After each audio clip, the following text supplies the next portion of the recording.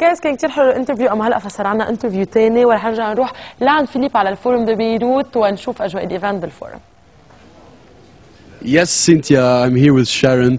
Uh, Sharon, we love you here in Lebanon, and it's an honor to have you for the first time here with Within Temptation. Of course, you're the angelic voice behind this symphonic metal band. Tell me, how does it feel to be here?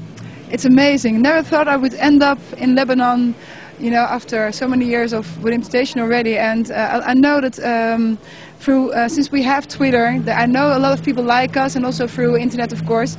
But it's uh, it's really an honor to be here finally. So, Sharon, let me ask you about Within Temptation. Listen to that loud scream. These, these are the fans, of course, waiting outside. Okay, that was. And I bet there's more people coming here, and there's still little tickets available. So please come here early to watch Sharon and Within Temptation. But before, your albums have been topping the charts and the alternative uh, rock charts and every chart. We've been talking about this before we aired. So tell me more about this massive success that you found. Uh, well, you know, it wasn't like there was like one moment to the other that we were like known everywhere, but we gradually became uh, more known all over the world and played in different countries. And uh, just by playing, people got to know us mostly. And sometimes we had a radio hit here and there, and and we, it got us to Japan, to America, to all kinds of places, and now finally in Lebanon. So uh, our success uh, grew gradually, but that's that's a nice way, I think. If you become uh, known in one time, it's like only the only way is down. I think after that, it's like you can't get bigger or anything, and it doesn't need it doesn't need to be bigger or anything. But this is a nice way of climbing, you know, and uh, just getting everywhere and spread the music and uh, have fun and see a lot of other cultures as well. When I was talking to you, I loved one thing about you is that you don't like to be mainstream, although you were very successful in Europe and everywhere in the world. So, but we, ha- we still have one minute in the interview. I want to ask you something. The Lebanese fans love you. What are you going to give them tonight? Um, well, uh, I've heard that uh, somewhere is a song that they like a lot, so. I'm, I'm still having I still have to ask Anneke if she uh, if she's if she's up for it. But you're yes, Yeah, she loved it. She wanted to sing it with you. Yeah. Okay. Well, we have to practice because I haven't sang that song for such a long time because I mostly sang it with her, of course. But uh, we have to rehearse, and uh, if it works out, we're gonna play that specially for you guys because I heard that was a like a, a huge song on the radio. Last thing to say. Uh, well, I hope this won't be the last time to come here because it was such a short time that I could be here and see something from your country. And uh, I just hope to see a little bit more, maybe also as a tourist. Okay, we were sharing from Within Temptation أكيد تعوا بكير تحضروا Within Temptation اليوم نحن هلا رح ننتقل لنسمع غنية كثير حلوة Within Temptation اسمها جيليان واكيد نرجع لكم لكم ب اتم تي في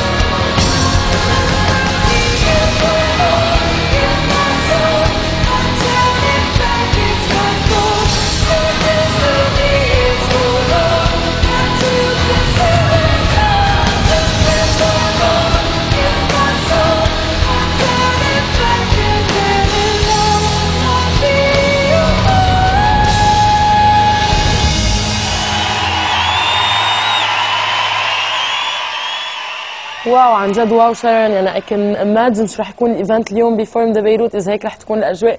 اتس amazing.